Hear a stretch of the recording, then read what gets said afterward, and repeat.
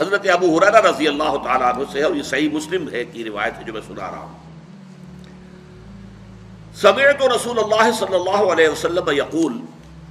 हज़रत अबू हुररा फरमाते हैं कि मैंने सुना अल्लाह के रसूल सल्लल्लाहु अलैहि को फरमाते हुए इन अव्वल ना से युकदा यौमल क़यामत अलह, पहला इंसान क़यामत के दिन जिसका मुकदमा तय होगा, फैसला होगा रजुल उसको शहदा फ़तिया भी वो एक ऐसा शख्स होगा जो दुनिया में शहीद शुमार किया जा रहा था।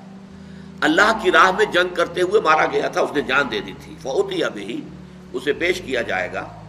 फ़ारफ़ू नबहू अल्लाह ताला उसको अपनी नेमतें गिनवाएगा। देखो, मैंने तुम्हें जिस्म दिया था, बड़ी सलाहियत दी थी, ताकत दी थी, हिम्मत दी थी, हौसला दिया था। फारफा वो पहचान लेगा हाँ परवरदिगार, तेरा ये फजल और ये करम मुझ पर रहा है। काला फबा आमिल तफी अब अल्लाह ताला पूछेंगे, तुमने क्या कुछ किया? मेरी नेमत उससे तुमने क्या काम किया? काला कातल तो फ़ी का वो कहेगा, अल्लाह, मैंने तेरे लिए जंग करी। जंग में हिस्सा लिया। हत्ता उस तो शिद्दो। यहाँ तक कि मैं शहीद हो गया, मैंने अपनी जान दे दी।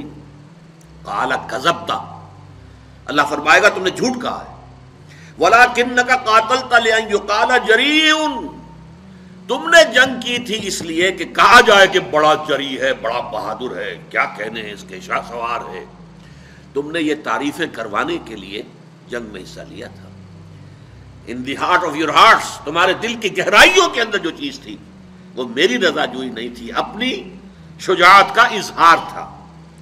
लिया युकाला जरीन फ़कत कीला, वो कहा जा चुका दुनिया के अंदर। तुम्हारी जुरत के और बहादुरी के और तुम्हारे जो है वो बड़े गलगले बुलंद हो चुके हैं।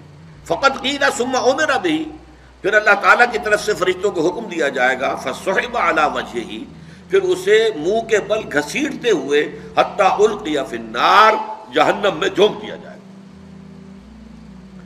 दुनिया में समझा जा रहा है शहीद। समझ लीजिए इस बात को। लेकिन वो असल शय जो है, अंदर ईमान है या नहीं है और वो ईमान ही दर हकीकत मुहर्रिक नहीं है इस अमल का। कोई और शय है, शोहरत तलब है। किसी और तरीके, कोई बाल की तलब के अंदर जंग करता है। कोई हमीयत की वजह से। फ़र्ज़ कीजिए कि हुजूर ने कोई मुहिम भेजी है एक ऐसे कबीले के खिलाफ, जिससे आपकी पुरानी दुश्मनी चली आ रही है।